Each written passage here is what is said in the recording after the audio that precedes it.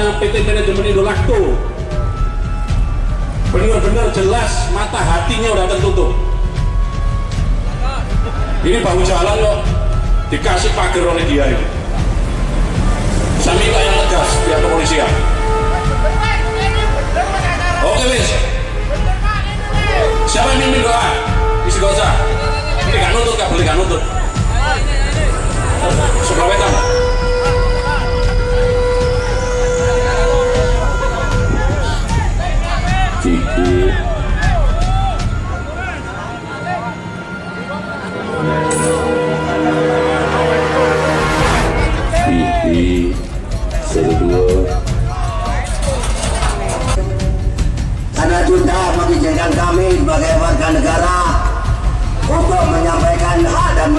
kami.